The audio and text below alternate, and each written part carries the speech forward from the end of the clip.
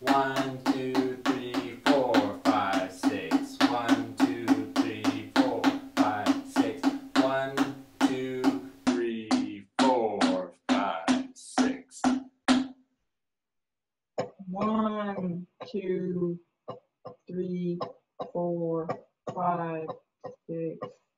Oh, Oh, I messed it up. just make sure that the one is on the first double. One. So here I am giving an online drum lesson from my studio using Zoom. Sometimes I use Skype too. The only equipment I need is basically a big light, which is important so that my student can see me clearly. My Mac laptop with Zoom installed, and I simply use my computer's built in webcam. Sometimes I use an extra USB microphone for the sound to be a little better quality, but this isn't absolutely necessary. I'll link below to all the equipment in the description box. One setting in Zoom that I discovered improves the audio experience is to click the audio settings next to the microphone icon and uncheck automatically adjusts microphone volume. This prevents the audio from peaking and cutting out when you start to play the drums, which is much louder than the voice.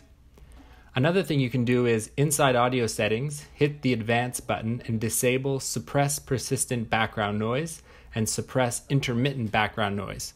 Because Zoom is designed for speaking, it often confuses drum sounds for background noise, so this helps to hear the drums when you play.